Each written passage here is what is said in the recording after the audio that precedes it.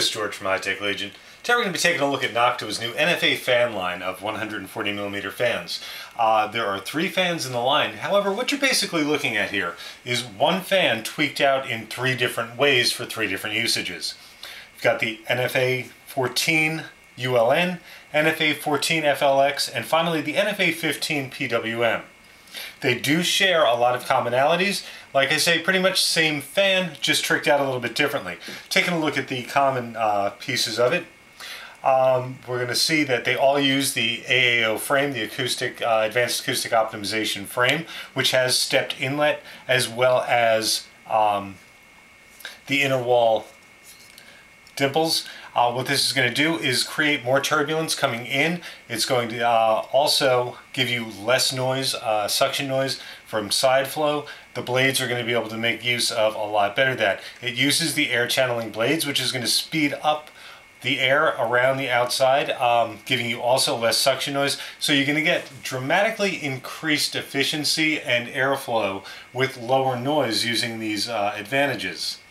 Of course, the AAO frame also uses vibration pads all around on all of the units. So very good looking pieces. Let's take a look at them individually and see exactly what they are meant for and how they are tricked out. We're going to begin with the NF-A 15 PWM.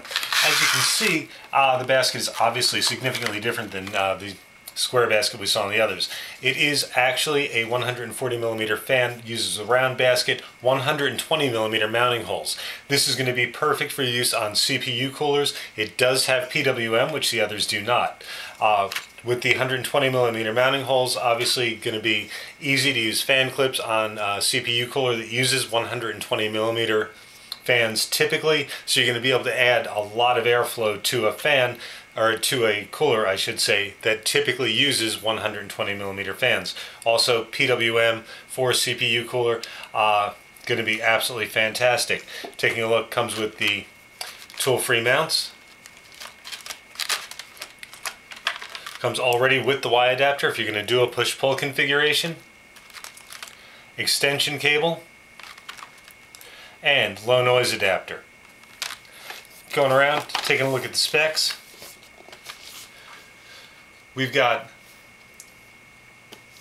rotational speeds of 1200 and 900 with the low noise adapter. Obviously with the PWM, um, you're not, if you're not using the low noise adapter, it's going to range from 900 to 1200 uh, RPM.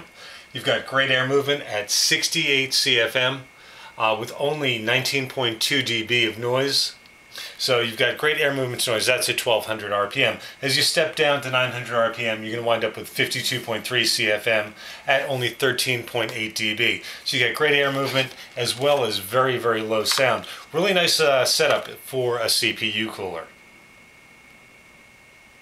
The NF-A 14 FLX, as you can see, uses a standard square frame, making it ideal for case mount or even a radiator mount. Uh, some CPU coolers as well are very good with the square mount. However, it's not PWM, so you're going to have to keep that in mind if you're going to be using it for any type of CPU or radiator cooling.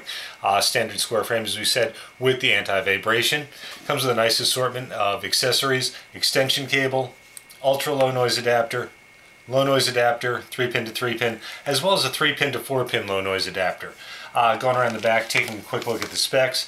Uh, it's going to read the same as the um, NF-A 15 PWM, Going to top out 1200 RPM with 68 CFM at 19.2 dB and also 900 uh, RPM with the low noise adapter at 52.3 CFM at only 13.8 dB. However, uh, with the standard low noise adapter, you're going to come in at uh, 1050 RPM at 60 CFM and only 16.4 dB. So you're going to get a lot of air movement with very, very little noise and also very, very flexible uh, performance from the 14 FLX.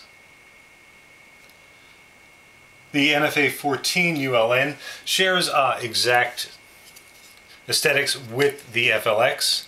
As you can see, square cage for case, radiator, or uh, CPU cooler. Uh, not a good choice for radiator or CPU as ULN stands for ultra low noise. So what you're going to have here is very low airflow, very low noise. You're going to want this for case applications where a lot of airflow is not necessary. Uh, taking a look at the accessories, low noise adapter, 3 to 4 pin low noise adapter, and an extension cable.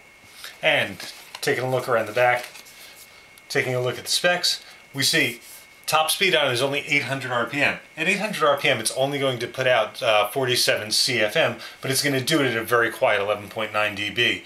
With the ultra low noise adapter, only 650 RPM, uh, putting out 39.1 CFM, but an astonishing low 9.1 dB. So this is definitely going to be something you're going to want to use in a very quiet capacity where uh, a lot of airflow is not going to be necessary with the NF-A lineup, Noctua has really taken uh, all of the qualities we've seen from Noctua fans in the past, the great air movement, quiet uh, performance, and very high static pressure, and packed them into three uniquely different uh, pieces, each one customized to be used in different manners. So there should be something there for just about everybody uh, and in just about every application you're going to be able to get the highest performance possible with uh, the least amount of noise.